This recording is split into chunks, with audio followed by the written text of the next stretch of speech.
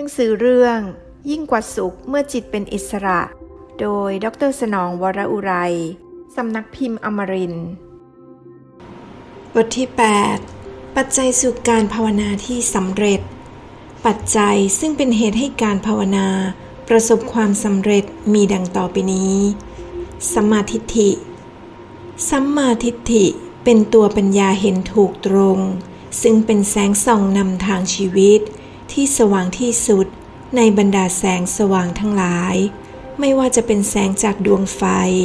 แสงจากดวงอาทิตย์ หรือแสงจากดวงจันทร์ พระพุทธเจ้าท่านก็ยังทรงกล่าวว่า แสงแห่งปัญญานั้น เลิศที่สุด และเหมาะที่สุดที่จะใช้ส่องทางให้กับชีวิต สัมมาทิฏฐิจึงเป็นด่านแรกของทางสายเอก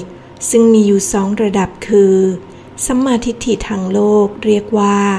สัมมาทิฏฐิคันโลกิยะ จะเกิดได้ก็ต่อเมื่อ